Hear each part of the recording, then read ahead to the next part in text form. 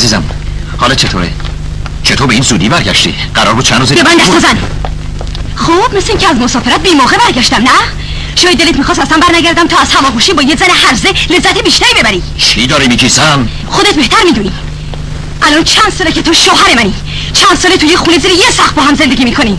و تو توی این مدت حتی یه بار دست منو لمس نکردی. و اون وقت یه شب که تو خونم نبودم با یه زن غریبه که من از روی ترحم و دلسوزی مثل یه کلفت ازش نگهداری می‌کنم هم بسته شدی. آخه تو وجود اون زن هرزه بی سر پا چی دیگه؟ دیگه.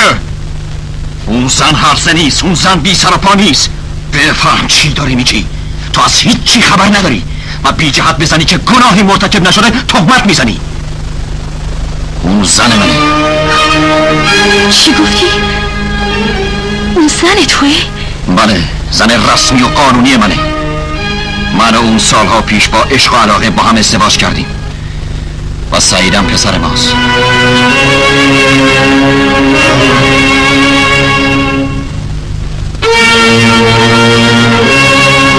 ولی می‌گفت که شوهرش مرده توی تصادف ترن کشته شده. اینطور خیال می‌کرده. به همین جهت شب همون روزی که من از مسافرت اومدم اون خونه شما رو ترک کرد و رفت. من همون شب اونو پیداش کردم و تمام سرگذشت خودم و تو رو براش بازگو کردم. ولی اون به خاطر تو و به خاطر پدرت و به خاطر اینکه آبرو و حیثیت خانوادگی شما حفظ بشه دوباره به خونه شما برگشت. وای خدای من. پس من چقدر به این زن بد کردم؟ چقدر به اون توهین کردم؟